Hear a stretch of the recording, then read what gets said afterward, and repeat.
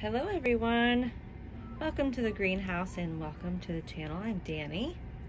I hope this video finds you well.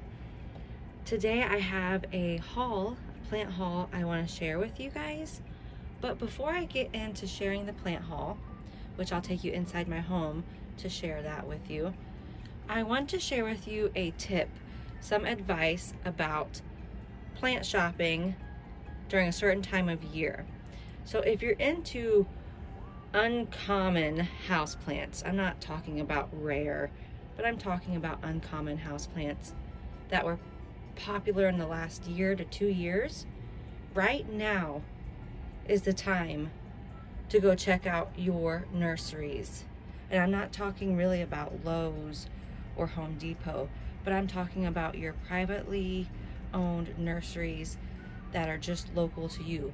Like I have a Petitti's and I have a Gales and I believe those are only in Ohio. But right now is the best time to check them out because they are in between winter and spring.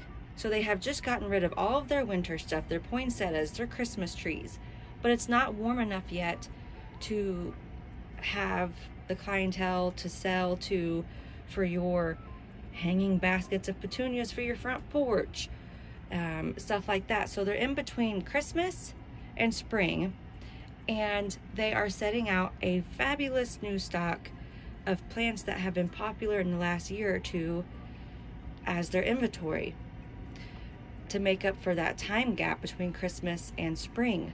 So right now is the perfect time to go check out your nurseries that are local to you. Now with that said and out of the way, let me shut my mouth, take you guys inside, and show you guys what I found yesterday. We are inside my kitchen, and let me show you the plant haul. So the plant haul kind of has a theme to it. Everything is silver.